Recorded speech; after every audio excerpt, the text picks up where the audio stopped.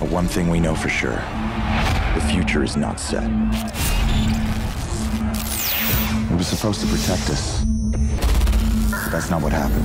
A computer program designed to automate missile defense decided all humanity was a threat to its existence.